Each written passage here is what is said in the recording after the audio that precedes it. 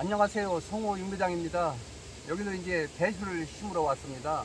먼저 한 일주일 전에 먼저 이제 한 판 심고 이것저것 심었는데 이제 오늘이 이제 9월 1일이니까 이제 집에서 먹는 배추도 이제 심을 때가 된 것 같아서 제가 이제 배추를 세 판을 갖고 왔습니다. 이 도까지 심으러 갔다가 다시 앞으로 나왔는데 배추 모종은 이렇게 생겼고요. 1군 1세, 8, 8일자가 나왔는데 이런 정도만 되면 발로 밟았다 심어도 잘 살 정도로 좋습니다. 어저께 여기다 세 판을 갖다 놓고 이제 못 심었더니 밤새도록 이제 비 맞아가지고 이렇게 이제 흙이 다 튀고 이랬는데 요거는 뭐 심으실 때뭐 어려운 거 아니고 그냥 이런 나무나 아니면 조그만 좁은 모종삽으로 살짝 짚고서 이렇게 딱 심어서 요 밑에 떡 입는 데까지만 쏙 넣어주면 됩니다. 그래서 뭐 어려운 건 아니고요. 그래서 지금 어제 밤새도록 제가 볼 때는 한 100mm 이상 비가 와가지고 지금 여기 고랑에 이게 수평이 잘 맞았으면 이 고랑에 물이 고여있지 말아야 되는데 여기가 요 옆에 전원주택 지을 때 흙을 메꾼 거라 자꾸 가라앉아가지고 이제 다시 또 한번 이걸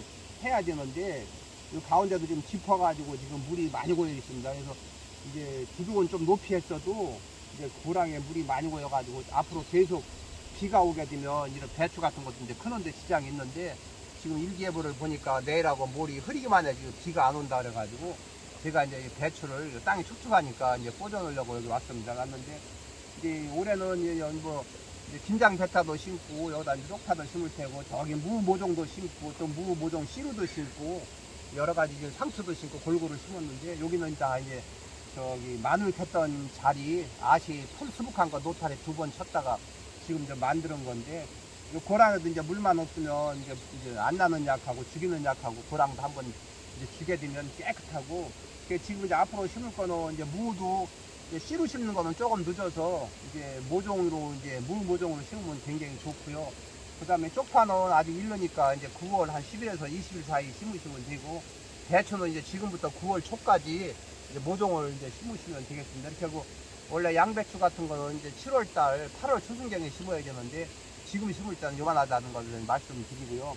그 다음에 이제 지금이 배추 적기니까 이제 배추는 지금 심으시면 되고 이제 다음 달 다음 달이 아니라 이제 9월 달에 오늘 9월 달이네 벌써 9월 달이니까 이제 알타리라든지 가시라든지 쪽파라든지 아니면 그런 종류들 그런 종류들은 9월 10일에서 한 20일 사이 15일 사이 그때 이제 심으시면 딱 맞겠습니다. 그래서 저, 도 이제 아욱이라든지 가시라든지 쪽파라든지 이제 그런 시금치는 지금 심으셔도 되고 이제 지금은 좀 더운 맛이 있는 더운 감이 있는데 시금치는 지금부터 계속 심어서 이제 9월 달까지 말까지도 심으시면 되겠습니다. 지금 심은 시금치는 좀 빨리 먹고 이제 9월 말까지 심은 거는 이제 내년 이제 봄에 이제 많이 뜯어먹게 됩니다. 그래서 오늘은 제가 배추 추가로 이제 더 심으면서 여러분 영상을 찍어서 이렇게 도, 이제 여러 가지 도움되는 말씀을 드렸습니다. 감사합니다.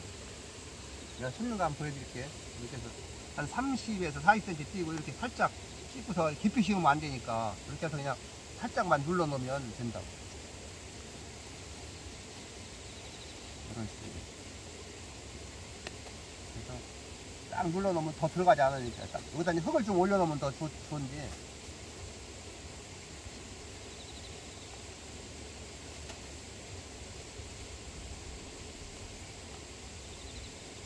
이렇게